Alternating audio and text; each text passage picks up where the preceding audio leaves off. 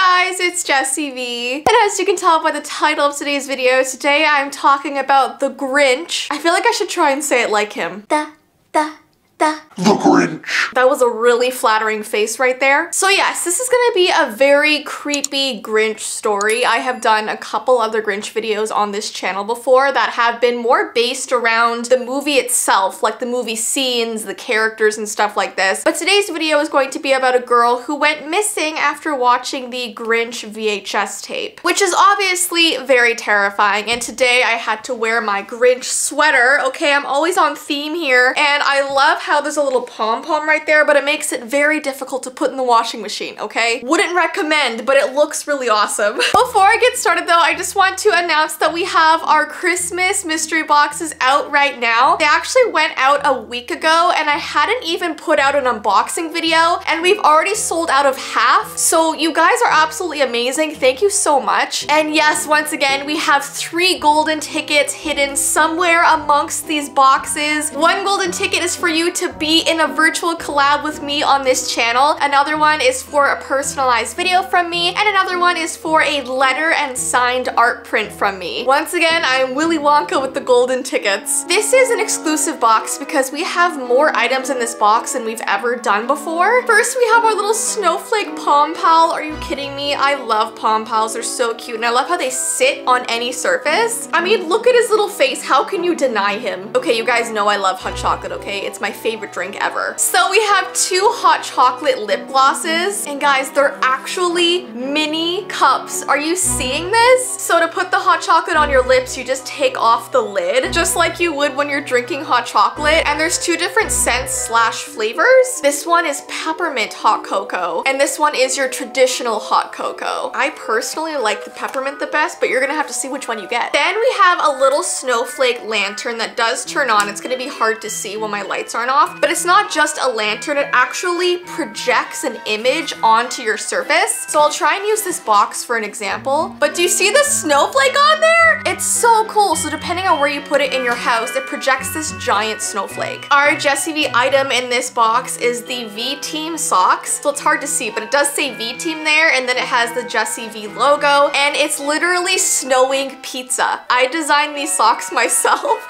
because I love pizza, I love winter, so why not combine them both? Then we have the legend of the snowflake ornament. This is such cool packaging because it has the front, it's all metallic, and then you open it up and you can see your beautiful snowflake ornament. And it says each snowflake has its own special qualities. So yeah, I just think this is absolutely beautiful. Then we have some beautiful snowflake clips, but they're extremely pretty. I love them too. And then another mystery item we have are our gnome earrings, and they are adorable. I know the packaging makes it really hard to see on camera, but we have polka dot red, we have a snowflake one, we have a striped one, and I love these earrings so much. So yeah, this is the most we've ever had in our mystery boxes, so the price is slightly higher than other years, but, and a big but right now, it is currently Black Friday, which means that everything on the website is 25% off, including our mystery boxes. I don't think we've ever done that. The sale is gonna go from today all the way until Monday, so if you would like a mystery box, now is the time to get one. I will put a link down below in the description, and also, like I said, everything else online is 25% off. All right, guys, so without further ado, let's get right into today's video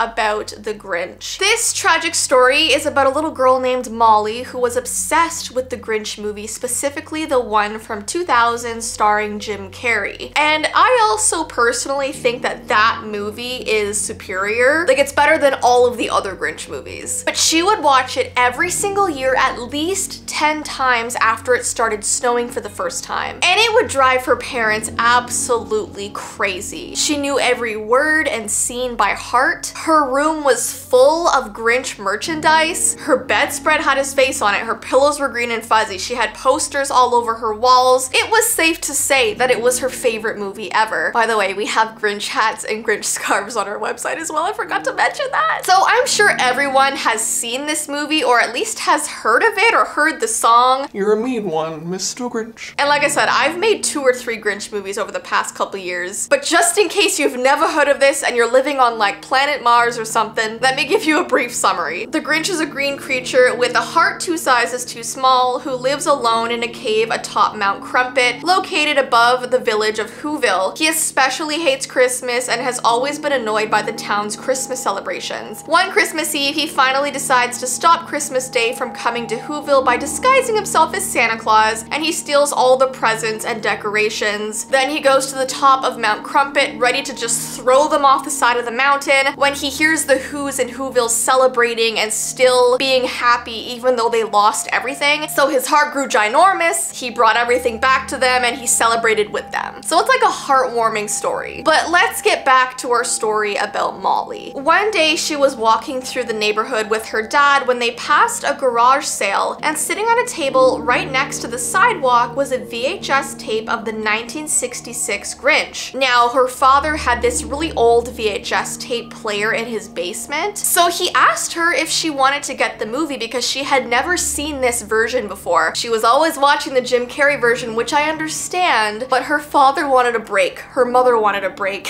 they wanted her to watch something else for a change. So she agreed and they took the movie home. She watched it two times in a row that evening and even begged to watch it one more time before bed, but her parents told her she needed to take a break, go to bed, and she can watch it again in the morning. While she was being tucked in by her mom, she looked outside her window and began to point at the forest outside their house and was jumping up and down on her mattress. When her mom asked her what she was pointing at, Molly said, The Grinch is out there. He's waving at me. I think he wants me to go say hi to him. So Molly's mother told her that there was nothing out there, but Molly replied with, Don't be silly. I saw his green hand out there. Her mom just shook her head and put her to bed, but the next morning they had a very heartbreaking discovery. Their daughter was gone. She was missing from her bed. Her bedroom window was wide open. So they called the police and got a search party together and they walked through the woods for hours calling out her name. They had never felt such fear before. Molly was missing for 36 hours and every hour felt like an eternity for her parents. They could not believe it when she suddenly showed up at the back door of their house shivering, covered in snow. But what she told them next was even scarier. She said that in the middle of the night, she heard her name being called and when she looked out the window, she saw the Grinch's green furry hand in the darkness of the forest. He was basically beckoning her to him. So she climbed out her window and wandered into the forest. She said the green hand kept appearing out from behind trees and kept getting farther and farther into the forest the longer she walked towards it, until she no longer knew where she was. She wasn't paying attention to where she was going. She was just enamored by this Grinch hand. She said the Grinch's hand was holding a beautiful shiny red ornament like he did in the movie, and she so desperately wanted to grab it, but she could never get close enough. And what's strange is that she never fully got a glimpse of the Grinch himself. She only ever saw his hand. She began to get scared that she was very lost, so she ran in the direction that she thought her house was. But it took her an entire day to find it. But now she was finally back home being warmed up with a blanket. Her parents tried to explain to her that it was impossible that she actually saw the Grinch, but she was just convinced that she had. No one could tell her otherwise. Police went back to search through the forest for any clues, and after a few more hours, they came across a pair of bright green fuzzy mittens lying in the dirt. And they knew immediately in that moment that someone had been watching Molly for weeks. They knew that she loved the Grinch, and they tried to lure her out of her bedroom at night, wearing mittens the same color, the same texture, to look just like the Grinch that she knew and loved. He must have gotten spooked when police arrived and took off deeper into the forest, leaving behind all the proof they needed. And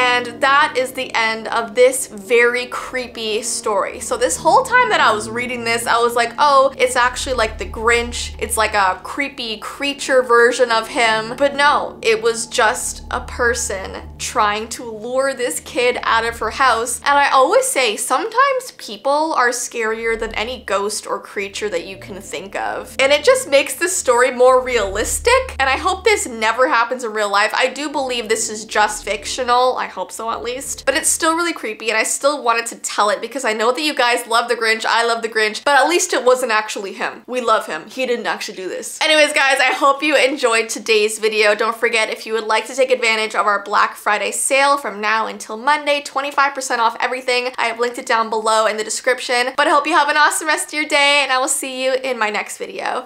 Bye!